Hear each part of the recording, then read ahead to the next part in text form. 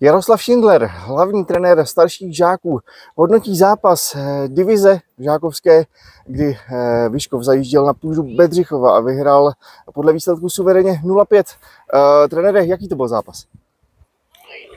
Já musím pochválit své hráče za druhý poločas, protože první poločas prospali a myslím si, že i v hlavách podcenili soupeře.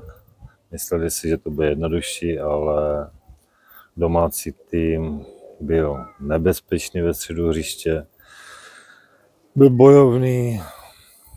Myslím si, že tak trpí trošku tou nováčkovskou daní, ale druhý poločas svoje kluky musím pochválit, protože to už zvládli jednoznačně. První poločas podceňovali situace, s kterými mají dávat góly a komplikovali si první poločas. Zlomil se ten zápas, eh, když jste vstřelili eh, tu třetí branku? Já si myslím, že i druhá branka už zlomila ty domácí hráče a pak už to bylo jednoznačné. Bohužel domácí tým nevystřelil ani na bránu.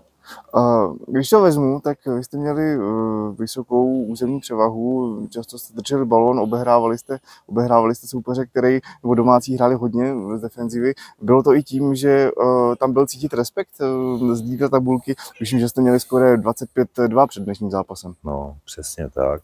Nevím, jestli měli respekt, ale já znovu říkám, musím pochválit své hráče, protože když si dají říct, tak jsou fakt výborní. Ale jsou to puberťáci, takže musí si to v hlavách uvědomit a pak je se na to radost dívat. Trenére, díky moc za rozhovor a ať se vám daří. Další. Díky moc.